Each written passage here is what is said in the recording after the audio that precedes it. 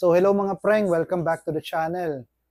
Our uh, video for today is uh, medyo unique siya kasi first time natin ma-feature ito na isda. Uh, isa siya sa mga isda na hindi ko pa na-keep aside sa as far as I can remember no, pako. Never in my life wala pa talaga kasi lumalaki. Ito siya, ito yung feature natin uh, today. Ito yung hindi ko pa na-keep. Parang mahirap siya before, tsaka mahal. Pero we'll get to know sa video kung mahal ba or madali lang i-keep.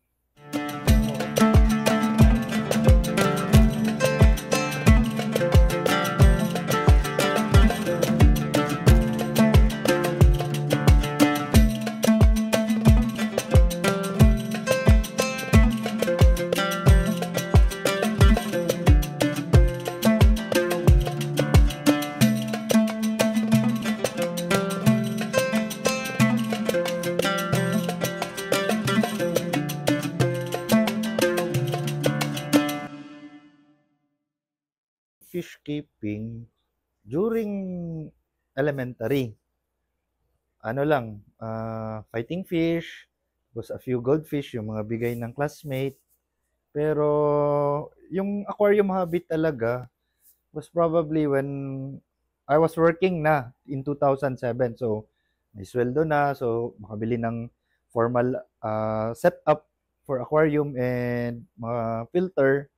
Tapos makakabipili na rin ng mga isda. So, that's probably where I started uh, into formal fish keeping.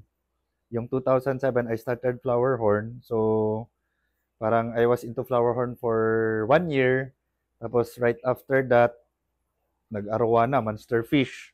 Tapos tuloy-tuloy. After that, nag-discuss. Tapos parang two years later, nag-marine. So, yung mga the usual ba na bagong simula tapos na-addict so tuloy-tuloy iba-ibang fishes. Tapos ano uh, in 2011 ata binenta ko lahat ng setup ko. Ang iniwan ko is yung marine. Marine. So I I I had marine for 3 years. 3 years until so, alam, oh, 14 tama tama.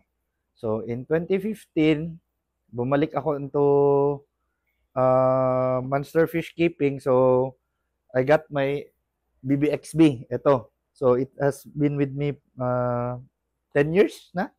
Actually, in 2009 ata, after nag-start ako 2007, nag-discuss na ako. But at that time, wala masyadong magandang strains ba or variety sa Davao. So, nangyari, parang I, I kept discuss for one year. Tapos nag-quit, benta. Tapos, when I started back dun sa Monster Tank in 2015. Uh, ah, kumuha ako ng Discuss in 2016. So, second attempt. So, after parang two years nun, binenta ko ulit. So, nag, nagsiklid na naman. So, I went back into Discuss during the pandemic na. So, that was in March 2011, 2021, sorry.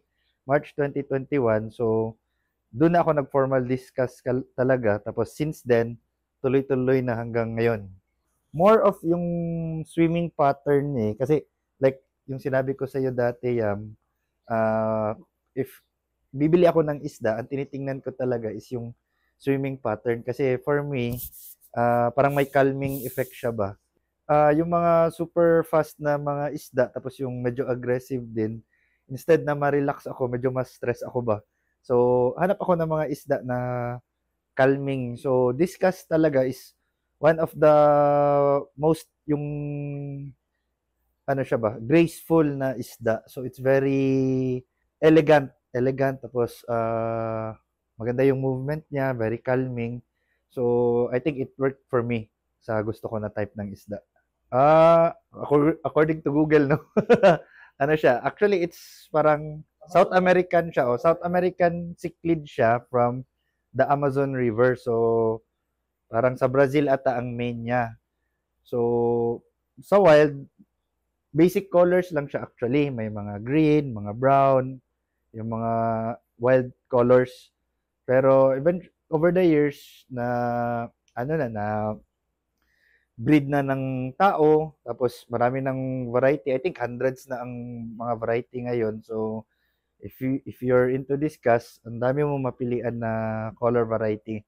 Ito yung ano, discuss tank natin, uh, 4 feet setup, 4 feet by 18 by 24. So the height is 24 inches. So for discuss kasi mas maganda higher ang tank kaysa sa wider. So sa tank natin, we have 10 pieces of discus. Uh, same strain siya. Uh, Red Map Tiger checkerboard discus. So we got this from Sir Dexter Chung from Discuss. Discuss. So Sir Dexter, thank you. So actually, ano siya, it's a very good breed. Uh, I've been looking at this uh, type since last year, two years na. So palagi kasing hindi available to. So swerte, swerte this year, uh, early this year nakakuha tayo.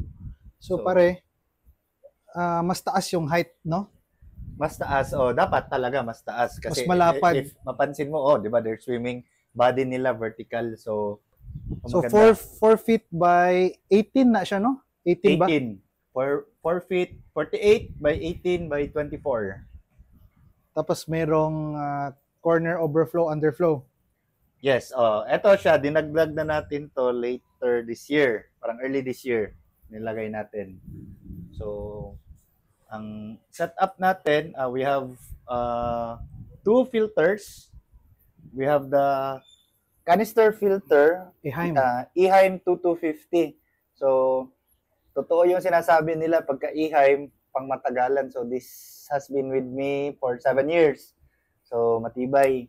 Tapos, uh, we also have the sump filter na may mga lotus root na baki. Tapos, may mga ceramic medyas.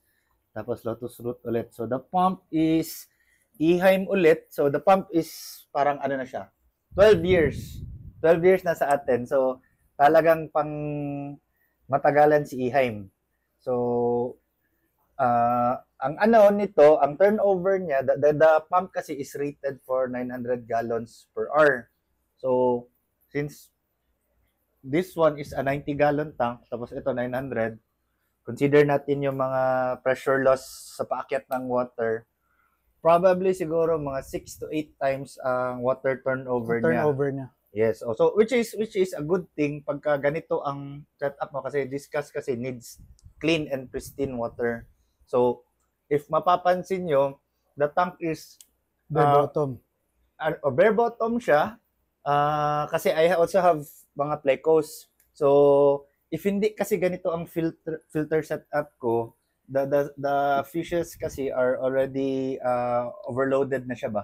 So yung bioload niya sobra na. So dapat uh, to compensate dapat magandang filter kasi for me I just do uh, once a week water change na lang.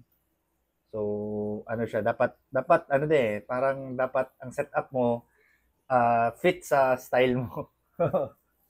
When I started medyo ano siya sensitive, medyo sensitive. I don't know if kung ano ba siya, it's sa strain ba dati no mga early early 2000s kaya ah, sensitive ang mga discuss or yung mga strain ngayon na mas bago, mas ano na, mas ah, stable na, hindi na nagkakasakit agad. Pero dati kasi ano pa, nag eh, everyday water change pa ako pero same naman din, nagkakasakit, overfeeding. So sa ngayon, parang simple simple lang. Ah, once a week water change tapos ah, feeding, normal feeding lang, wag lang overfeeding. I think yung overfeeding talaga ang one of the main cause kaya nagkakasakit yung isda. So, ano lang, ah, normal feeding lang, tapos regular water change na talaga. Minimum once a week, better twice a week, pero sa, sa akin, hmm, sa akin, once a week lang kasi busy din eh. Ah, dati kasi when I when I came back to discuss keeping in 2011, ang ginawa ko, I wanted yung variety of colors ba, may yellow, may blue, may white, may red. So, ang tendency kasi nun, pagka variety of colors, parang lalabas, hindi ka masasatisfy pag may bago na namang kulay na available sa pet shop or may bagong kulay na maganda. So, gusto mo naman ng kunin. So, buti na lang, may nakapag-advise sa akin, ah, yung, ano siya, parang matagal na na breeder, I think one of the best breeders dito sa Philippines, sa Manila. si Sir Dexter, ang advice niya was to at least get one strain lang for all para mas natural looking siya ba. So, I, I followed his advice and tama din siya. Tama din siya kasi like ngayon, isa lang strain ang kinikip ko. Parang ang satisfaction mo nandun palagi. So ang mas ang mindset mo is papalakihin ko na lang ito sila. Hindi na ako kukuha ng mga bago. So parang yun, parang mas tama siya, mas natural looking. Basta ang advice ko lang if if, if kukuha kayo ng discuss, kuha kayo na marami one time para pag lumaki sila, sabay-sabay. Kasi more often than not, meron kasing magiging bansot sa batch na yan. So, magiging grant. Although, although hindi yan siya masakit, ah, sakit or masakitin, ano yan siya eh, parang natural siya na may magiging grant talaga sa batch. So, I suggest, kuha kayo ng marami, tapos kung ano yung magiging grant, yun, ilipat nyo or benta nyo pagka lumaki na sila lahat. Eh, No matter how good yung filter mo, pagka wala ka talagang water change, talagang ah, masisira water quality mo. So, I noticed pare, ang Hmm. daming pleko. Oo, oh, yan din ang ano ko ngayon, parang trip ko. Actually, halos kasabayan yan sila in 2021. This year lang, parang dumami na Anong talaga. klaseng mga pleko ito and ilan? Madami to, pre. Parang 12, 12 ata ito nasa tank na ito. 12 varieties. Uh, we have cactus pleco, mga tiger alinker, uh, green phantom, blue phantom, uh, L190 royal panak, mga L236 mega clown, merong gold nugget, may sunshine pleco, uh, madami na eh. Meron pa doon blue panak. So ang water change uh, once a week. Once a week. Oh, maintain talaga once a week kahit gaano pagkain ka. is Did you Ah. mention shrimp, no? Shrimp? No, dati, dati, shrimp. Ngayon kasi, uh, because of the once a week na water change, uh, nag-pellets na lang ako. Actually, very good ang pellets kasi I got this from the breeder din. So, parang benta niya na food. I stopped feeding kasi beef heart mix. So, before kasi when I started, when I came back sa Discuss 2011, beef heart mix yun kasi yun yung uso, pandemic, you have a lot of time to prepare beef heart mix. Ngayon kasi, uh, medyo busy na. Tapos beef heart mix kasi, quickly nagpupulyot ng water mo. So, Okay. kung nagpapakain ka ng beef heart mix, you need to have at least 2 to 3 times water change every week. So, sa pellets kasi, uh, I think mas maganda siya kasi uh, dati pagka nag beef heart mix ako, minsan nagkakaroon sila indigestion, yung mga white poop, yung stringy na poop nila. So, Parang- yun yun. Parang hexa. Oh, yun, exactly. So, ano yan siya, yung, ang ano niyan, ah, magtataka ka kahit hindi ka nagpapakain ng mga bloodworm, tapos, ano ka, beef fart lang, magtaka ka, ba't sila nagkakaroon ng ah, white, white poop? So, nung nag-start ako pellets, ah, maganda siya. Actually, ang, ang growth ng discuss, maganda, parang nag beef fart mix ka rin. Tapos, ano pa siya, readily available, very convenient to feed. So, if like sa akin, you don't have, uh, you're busy din paminsan. So, mas maganda talaga pellet food na lang. So, actually, yung pellet din is, ano siya, yun din kinakain ng plecos. Lahat naman siguro ng hobby is magastos. So, actually, sa, sa aquarium, uh, aquarium keeping, particularly sa discus, medyo malaki din yung initial investment mo kasi mahal ang discus eh, lalo na kung if you have to buy discus sa reputable na breeder. Ang kagandahan lang nun kasi ang cost na yun, kung hindi ka palaging nagdadagdag o nagpapalit ng setup, yun na yun. So that will last you ilang years na. So ang ano niya, ang expense niya siguro for the discus keeping is yung mga ano, ah, pakain mo, ah, yung mga filter wool, mga anti-chlorine, tapos kung may vitamins minsan.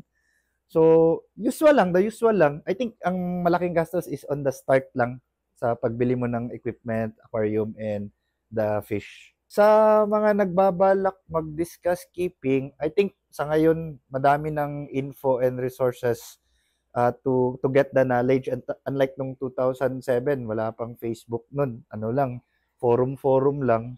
So, I think ngayon, if, if you're planning na mag-discuss, it's it's very good. It's very good. Daming daming breeder, daming options, daming varieties.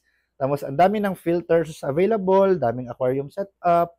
So you just have to be patient lang. Uh, research muna, research. Tapos kung may makita kayong magandang ano na, uh, breeder makukunan, set up nyo.